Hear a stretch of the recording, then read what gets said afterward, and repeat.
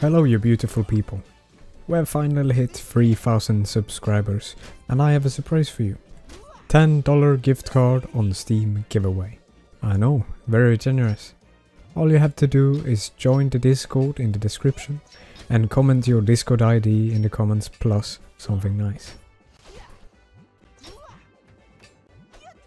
Today's topic is making cheats for RPCS 3 games.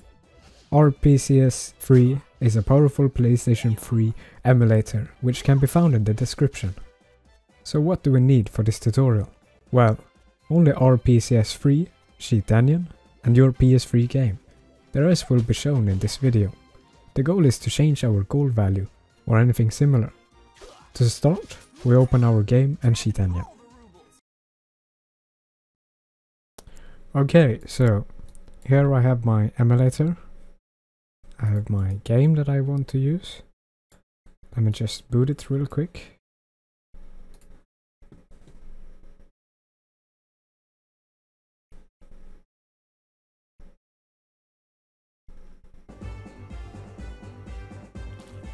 Okay, so we have this gold value, which is 23 right now. We can either slash bushes and so on to get more.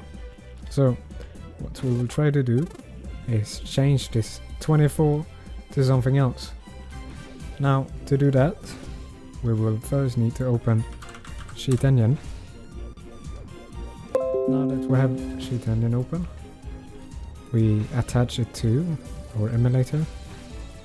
Now go to settings, no not that, settings and go to scan settings and enable scan the following memory region types memory mapped memory and so on. This will allow us to search through the emulator's memory.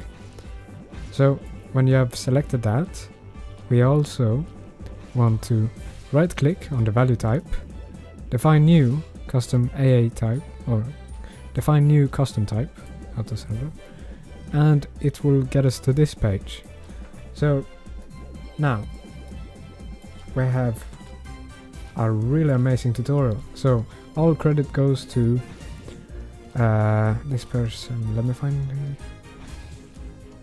Goes to Dennis Stanistan. This is his tutorial on how to use Cheat Engine. I'm just showing you guys. So all credit goes to him. And to use this, we have the value type big endian. I hope I pronounced that right. But to use that, we copy this auto assemble code and Control A and paste it. So I have I already have this 4 byte big endian, but you will get this 4 byte big endian. Select that and now we can search for our value. So you, if you have a float value, there is also um, further down on the page auto assemble code for that data type. Use that if you want. So let's search 24 since I have 24.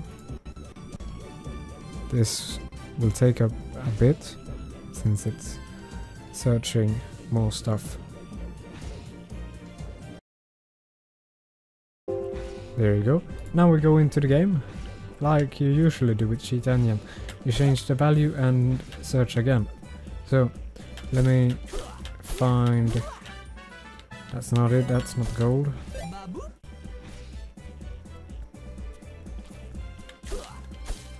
There we go. So now I have 25 gold. We search for 25. And we have some other values. You can search again next scan on the same value since it hasn't changed. Now, we don't really need to get more gold in the game. We can just check all of these values which one works. So let's change the first one 28 and if you look in game it changed so this is probably the correct one let's change it to 300 and we have 300 gold. Let's go to a shop in the game. No, that's not the correct way.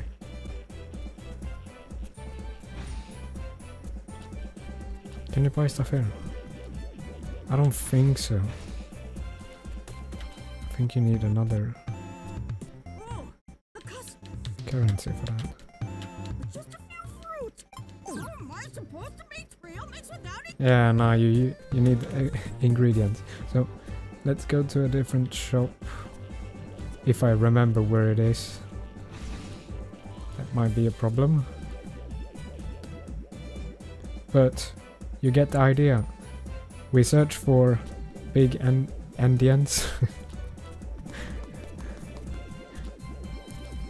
and we can change them from there. If you want to make a trainer for C Sharp, for example, you can use these addresses. You can use if they're static, of course, or maybe not. But you can use AOB scans to find instructions for uh, changing gold and so on. Uh, did I?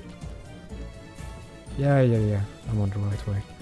But you can use all this stuff to make your own quality trainers for your favorite PS3 games.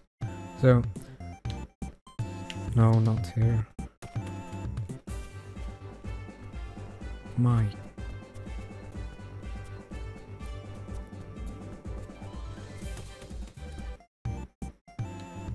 What else is a merc? Alright, You need handy container. Thank you So, we bought a bag and it works. So, for example, we can also find out what writes to this address by this banana, it seems. Sandy fruit keeps adventures on track. Thank you for choosing.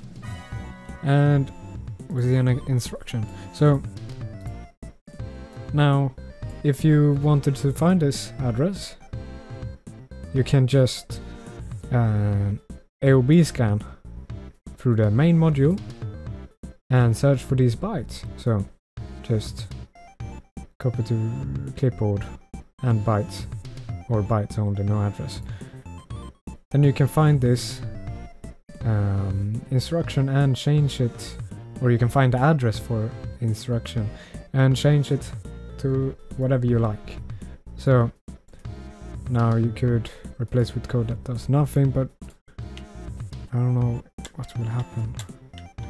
It's a thump shop. Thank That's you fine. for choosing. So it stayed, I believe, or maybe not. But you get the gist of it. You can do all uh, all sort of stuff here. I hope this tutorial was uh, good, and I will see you in the next one.